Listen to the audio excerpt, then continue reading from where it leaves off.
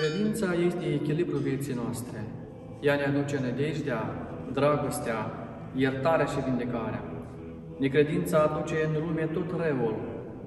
Face omul să fie tulburat și deznădăjduit, îl face plin de păcate și prin acestea omul este plin de necazuri. Lumea mereu a avut suferințe, iar biserica mereu a oferit vindecarea. În ultimii doi ani, lumea s-a confruntat pandemia provocată de coronavirus.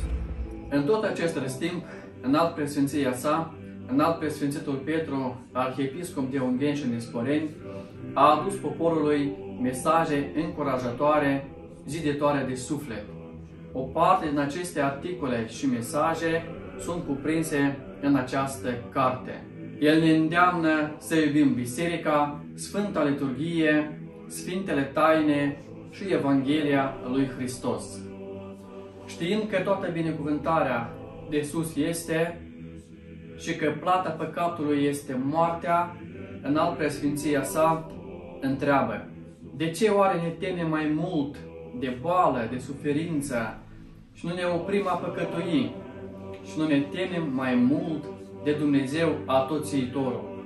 Pornind de la acest gând, în alt preasfinția sa, scrie predică ca răspuns la suferința omului.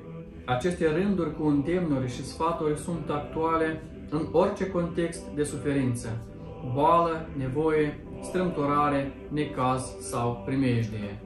Cuvintele înalt preasfințitului Petru ne sunt sprijin în credință, ne explică cauza suferinței și evident că ne oferă soluții. Sunt cuvinte curate, cuvinte scrise cu dragoste, cu durere și cu rugăciune.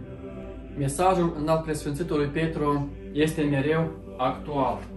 Dumnezeu ne cheamă la pocăință, ca prin pocăință să câștigăm iertarea și prin ea toată binecuvântarea ne îndeamnă în alt presfinția sa.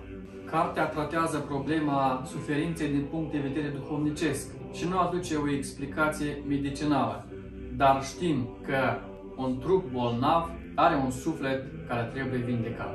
Aceste cărți pot fi găsite în cuprinsul Episcopiei de Ungheni și Nispăreni, la bisericile și mănăstirile din raioanele Ungheni, Nispăreni, Călăraș și Hâncet. Sfânta Biserică este acea corabie care noi permanent trebuie să fim în ea. Slăvit!